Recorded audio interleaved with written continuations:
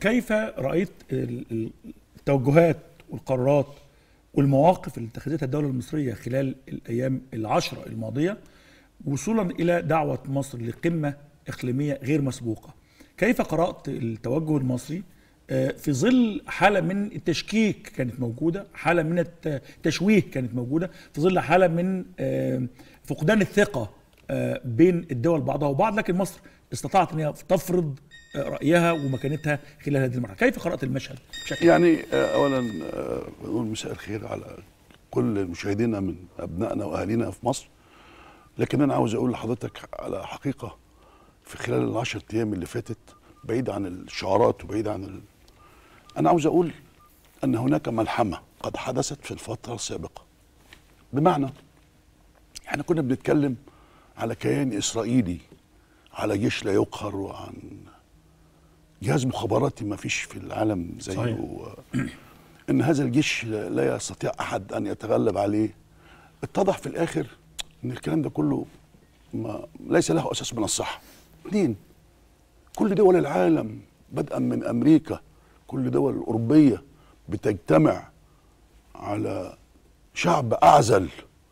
تتحرك الاساطيل والدنيا تتشال وتتحط عشان شعب معهوش حاجة. يحاربوا الشعب الفلسطيني. إحنا بنتكلم على الشعب الفلسطيني على الكيان الفلسطيني على الأمة الفلسطينية. مفهوم. إحنا مصر من سنة 48 وإحنا بنتحمل وزر هذه الدولة بنعتبرها جزء لا يتجزأ منه. من المنطلق ده أنا عاوز أقول من وجهة نظري إن دي مؤامرة أمريكية. بمعنى إيه؟ هو الدول دي كلها قامت ليه؟ عشان إيه؟ عشان شوية ناس آه، راكبين عجل وموتوسيكلات. بيحاربوا؟ ما, ما, ما لا دي منظور أكبر من كده بكتير عندهم.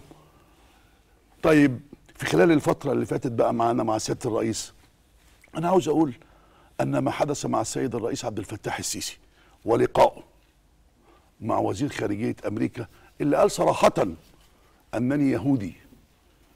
أنا بقول إن السيد الرئيس إداله درس. علني عشان ما ما فيش حاجة متسجلة. صحيح. ده كان علني. صحيح. ده درس.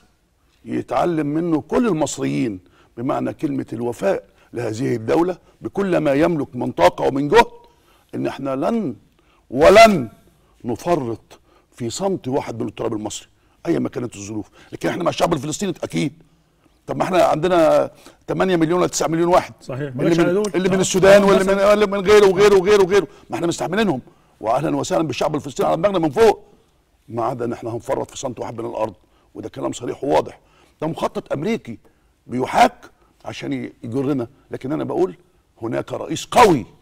إحنا بنثق في قدراته وبنثق في تصرفاته.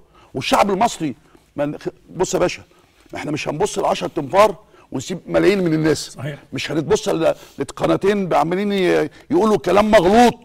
فين الاتحاد الأوروبي والمجتمع الأوروبي والمجتمع الدولي وحقوق الإنسان؟ وأنتوا بت... في مصر. أنتوا فين من دول؟ أنتوا ما شفتوش اللي بيحصل في فلسطين؟ ده ما عندهمش أي نظر خالص.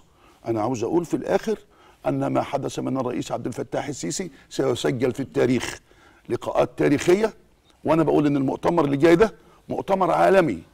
سوف يشهد من مصر أنها هي الرائدة في إدارة شؤون هذه المنظومة. صحيح.